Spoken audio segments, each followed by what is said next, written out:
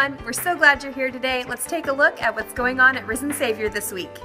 King's Kids have a swimming party today from 1 to 2.30 at the Ashburners home. Wear your swimsuit, bring a towel, and a snack to share. And remember, this is a family event, so parents, you're invited too. Also today from 1 to 4 is the Senior Youth Family Beach Party at the Gordons home. Again, wear your swimsuits, bring a towel and a snack to share, and remember to sign up at the information table. The Wichita Lead a Child charity ride is looking for help.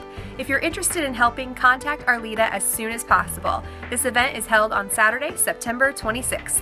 It's time to update our church directory, and this time around we're making it easy. No appointments or extra trips to church, just take out your phone and take an individual or family selfie.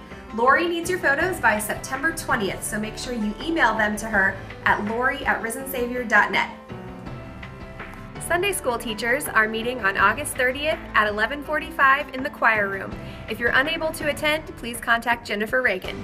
We're needing help folding, stuffing, and stapling the worship folders. This takes place every Friday at 8 a.m. If you can help, contact the church office. And remember, this isn't everything that's going on at Risen Savior. Be sure to read your announcement pages for a full list of activities and follow us on social media Twitter, Facebook, and Instagram. Thanks for being here today. We'll see you next week.